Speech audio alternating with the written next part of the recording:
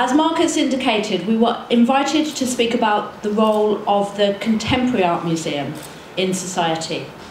I wanted to begin with a quote from some UK colleagues, cultural leadership experts, Sue Hoyle and Jamie Beddoe, who observed that if the arts seek public subsidy, then they should reflect and engage their publics, serving their communities as civic anchors.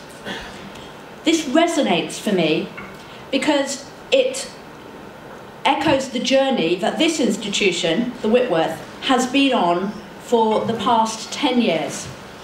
This has been about transforming an important institution with an international collection, part of a university, which was nevertheless a quite inward facing disconnected institution into a place which is admired for the quality of its exhibitions, its public programmes, and most especially its ability to connect to audiences that would not normally visit galleries or museums. So, this institution has looked like this since 1889. It's very clearly a high cultural institution. The building encodes a certain kind of power and hierarchy of the arts. So it invites you in, it has a front door, but it only really invites in those people who already know how to enter the art institution.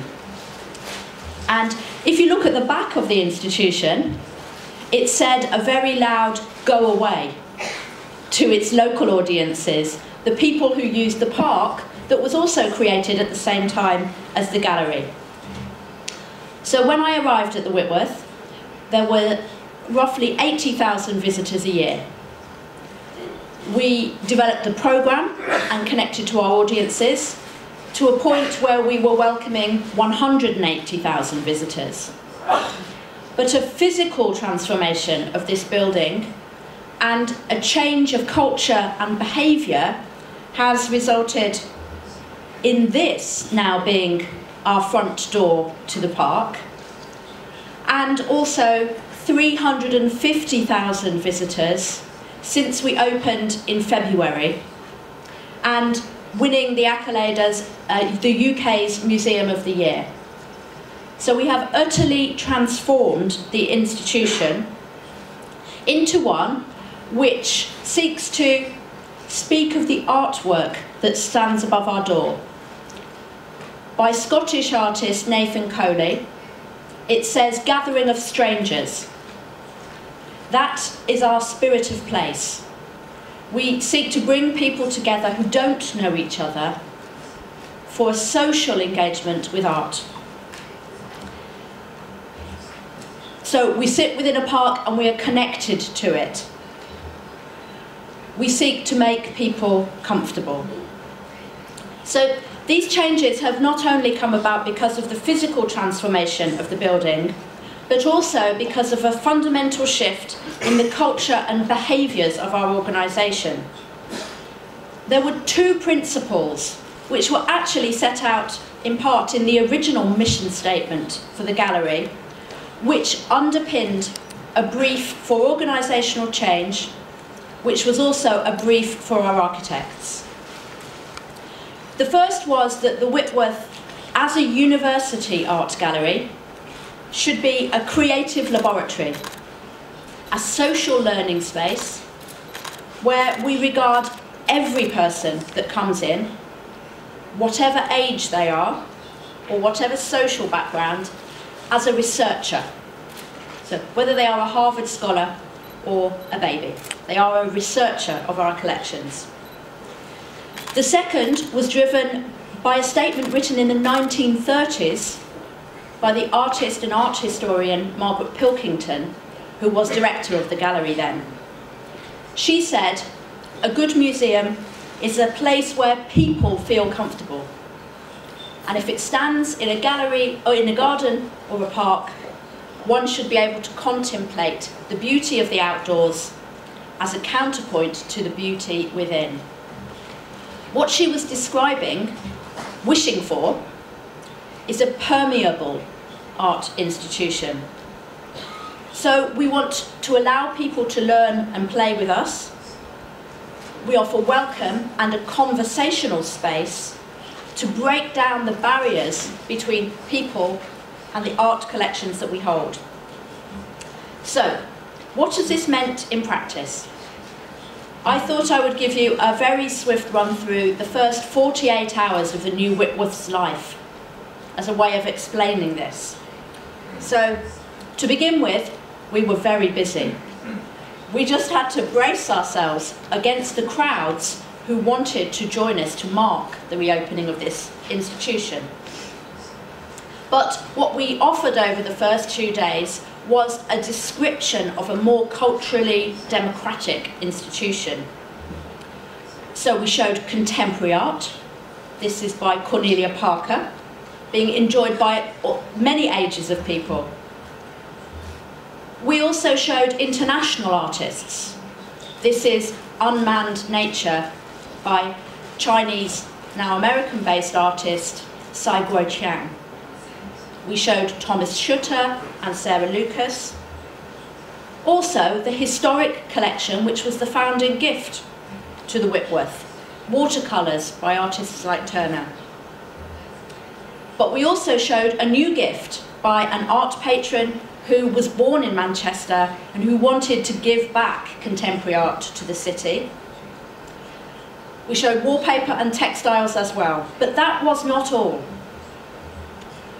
Tried to give over the institution to the audiences we were seeking.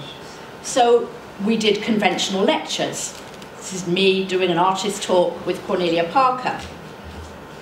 But we gave the same space to our family audience for them to create art in partnership with artists and musicians.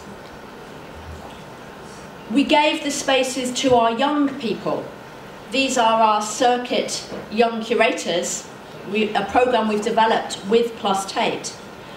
They programmed Manchester grime artists and created that's a kind of music that is very noisy, which I personally don't like very much.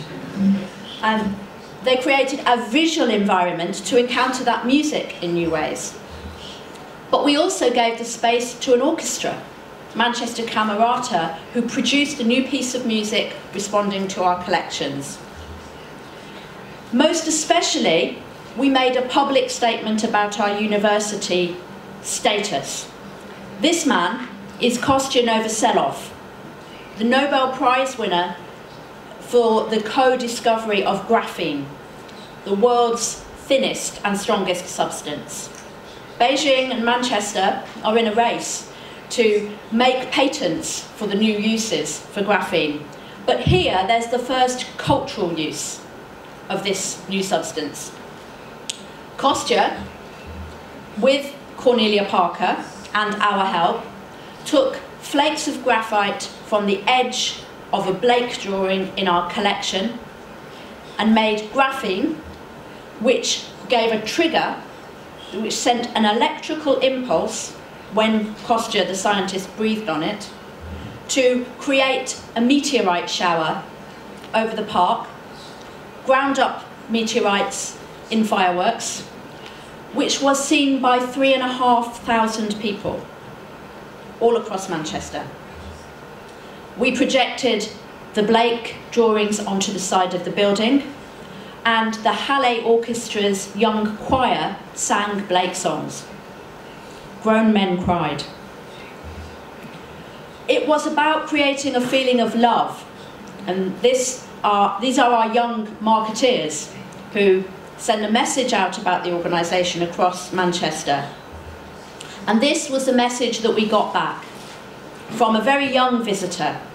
It says, the Whitworth is a place where people learn how to be wonderful. For me, that was the most profound piece of evaluation of 10 years of work. It has been about going out to other people's places. So this very old man helped curate an exhibition with us after one of my staff lived in his older people's care home for a year to find out why old men didn't visit us. The next exhibition in our collection centre is being curated by babies, toddlers and their carers to show their response to the collection. Our young people bring other young people in because they lead the work that is being presented. And our schools take over the inside and outside of the building as they shape creative learning for their own future. All of this matters because those issues, how young people learn, how older people can, how we can prevent social isolation of older people, how we engage poorer families in cultural activities, these are the big challenges for the whole city, really for the whole of the UK. So we make the gallery relevant to our funders.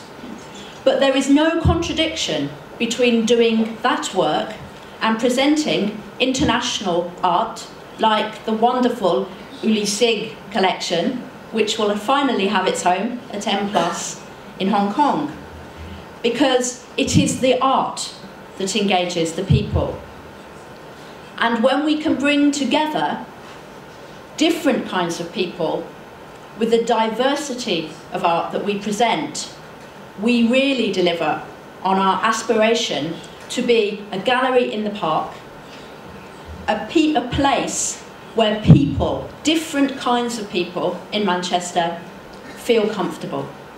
Thank you.